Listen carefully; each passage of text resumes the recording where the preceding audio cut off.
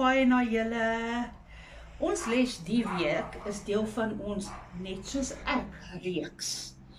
Ons kan God vertrou vir die onmoontlike. Enigiets wat jy dink is onmoontlik, is moontlik by God. En ons behoort dit te weet, want ons weet ons God is net goed vir ons.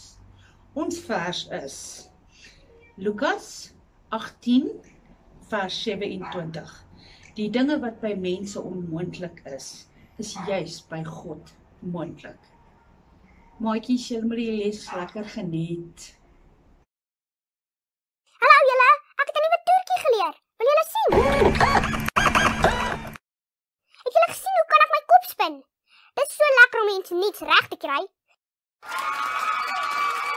Maar ek moet baie oefen om dit so te kon doen. Sukkel julle ook partykeer om iets reg te kry? Daar is baie goed wat ek nog moet leer om te doen. En daar is daar baie goed wat ek seker nooit sal kan doen nie. Maar miskien weet onvred wat ek alles sal kan doen. Want hy het my mos gemaak.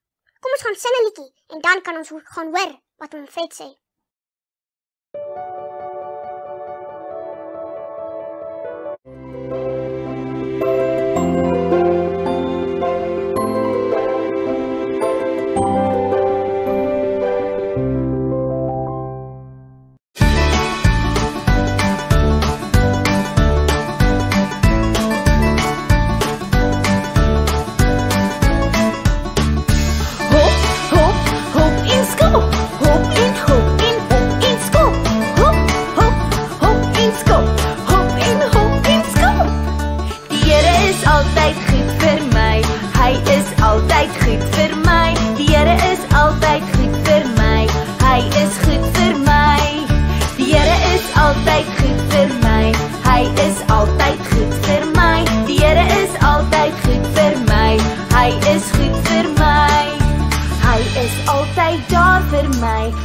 Hy bly binne my.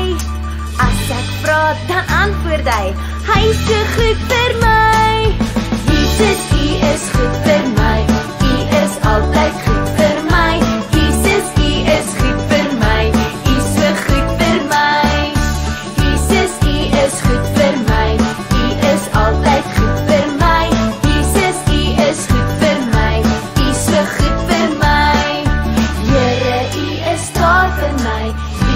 binne my. As ek vra, dan antwoord U. U is so goed vir my. Hop, hop, hop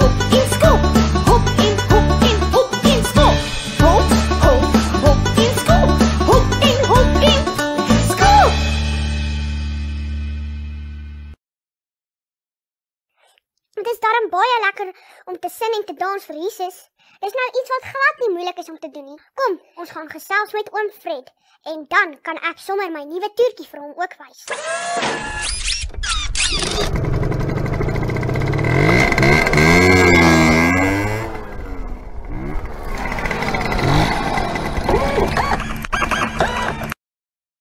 O, hallo Aartie en Mats. Hallo oom Fred, ek het 'n nuwe toertjie geleer. Kan ek vir oom wys? O ja, ek wil graag sien. Dis baie goed gedoen, Aartie. Maar oom weet mos wat ek alles sal kan doen, want oom het my mos gemaak. O ja, maar jy moet dit self ontdek en leer om te doen. Ek sal jou help as jy regte hulp nodig het en my vra. Dit is wat ons Pappa God ook doen. Hy het ons gemaak en weet wat ons kan doen. Hy is altyd daar om jou te help wat jy nie op jou eie kan doen nie, want hy kan alles doen. Daar is 'n Bybelvers wat dit mooi sê. Jippie, ons gaan 'n nuwe versie leer. Ja, dit is in Lukas 18 vers 27. Die dinge wat by mense onmoontlik is, is juis by God moontlik. Lukas 18 vers 27. Die dinge wat by mense onmoontlik is, is juis by God En moontlik. nou kan jy gaan kyk na 'n Bybelverhaal Twee seuns wat 'n wonderwerk gesien het met hulle eie oë.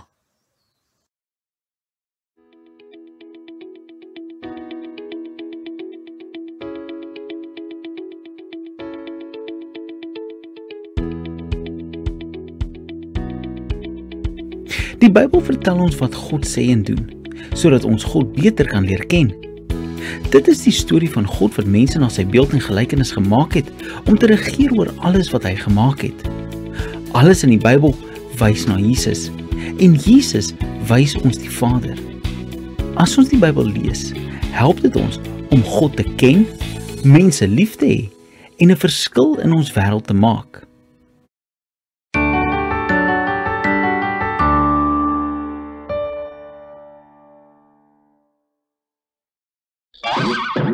Vir ons laaste Bybelverhaal in hierdie reeks, gaan ons terug na die boeke van konings in die Ou Testament. Die Bybelverhaal van vandag gaan oor een van die baie bekende profete van Israel, Elisa. Het jy al van hom gehoor? Profete was die mense soos ons laas gehoor het, van Samuel wat God gehoor het en dan sê wat God gesê het. Elisa was 'n jong profeet wat by die profeet Elia oorgeneem het nadat hy alles by Elia geleer het. Die Bybelverhaal van vandag word in 2 Konings 4 vers 1 tot 7 gevind. Hallo maatjies, dit is weer Meisha en Meisha se mamma hierso, Tannie Myra. Vandag se storie gaan oor 'n weduwee en haar seuns wat God se hulp gevra het. Sal jy vir my die rolletjie van die kleintjie speel? Eendag het 'n vrou wie se man 'n profeet was gesterf en sy het nie geweet wat om te doen om vir haar seuns te sorg nie sy het na 'n profeet Elisa toe gegaan vir raad. "U knegg, my man is dood. U weet dat hy 'n goeie man was en dat hy baie lief was vir God. Maar nou, nou wil die man vir wie ons geld skuld my seuns as slawe vat want ons kan hom nie terugbetaal nie. Asseblief meneer, asseblief u moet ons help."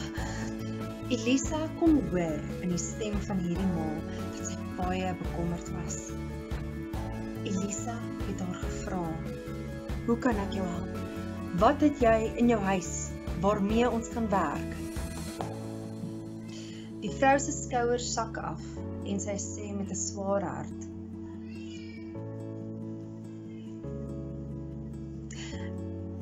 Niks nie. Niks nie. Behalwe 'n klein kruitjie olie. Wonderlik. Wonderlik. Hier is wat jy moet doen. Gaan na al jou bure en leen soveel leehouers soos wat jy kan kry. Gaan dan met jou seuns in jou huis en sluit die deure agter julle. Begin die leehouers volmaak met olie wat jy het en sodra die een houer vol is, hou dit eenkant en hou aangooi tot al die houers volmaak is. Vrou het toe gedoen wat Elisa gesê het.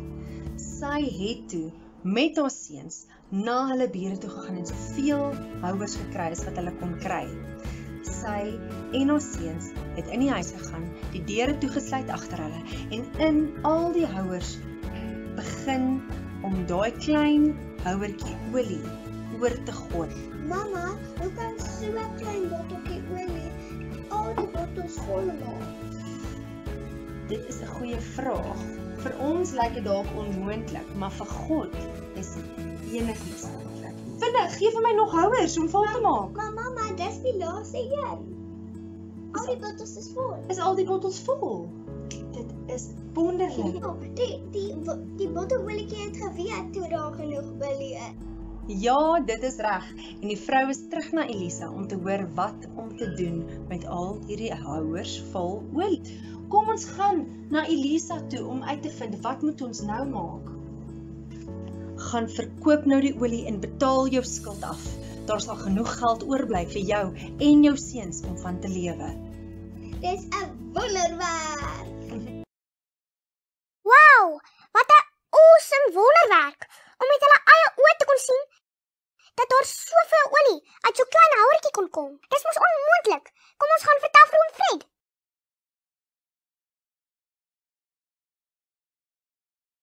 Oom Fred, hoe is dit moontlik? Hoe nou? Wat nou? Die Bybelverhaal van die weduwee en haar seuns wat uit 'n klein houertjie so baie houers vol olie kon maak. O ja, Dit is wat God kan doen. Hy kan doen wat vir ons na iets onmoontlik lyk om te doen. Daar is niks te groot of te klein vir hom om te doen nie. So net soos God vir oom Elisa gewys het wat om te doen, kan hy vir ons ook wys wat om te doen. Al lyk dit onmoontlik vir ons. En dan gebeur die wonderwerk. Ja, dit wat vir ons onmoontlik is, is vir God moontlik. Jy moet net glo en doen wat hy sê. Soos die versie wat ons geleer het. Kom ons sê dit saam, maatjies. Lukas 18 vers 27. Die dinge wat by mense onmoontlik is, is juis by God moontlik. Lukas 18 vers 27. Die dinge wat by mense onmoontlik is, is juis by God moontlik.